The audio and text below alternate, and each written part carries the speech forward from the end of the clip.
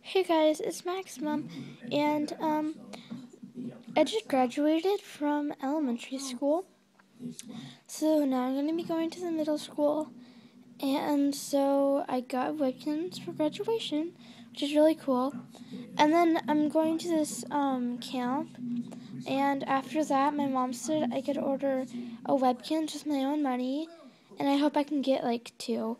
But she said one, but I'll show her the other one, and maybe she'll say yes. So yeah. But anyway, here's my new Webkinz. Um, she is very cute. I love her very much, but she kind of looks like a rabbit. No offense to Ganz, but she is very cute. So I got the cupcake pup from Target. Um, I got her in a box. That's why she's in good shape. She actually does have the muzzle that like curves underneath, which I thought was really cool.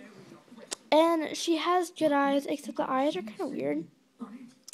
And then the cupcakes are really cute. Actually, I love them. But her nose is really big. And the pink on her ears is really cute. And her paws that are really small. And um, I just don't like how her body looks.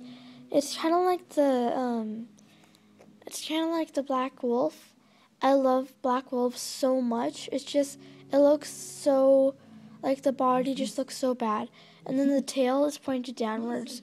So it's I was kind of bummed when I got it, but still it's really cute, and I recommend it to anyone that has a serious collection.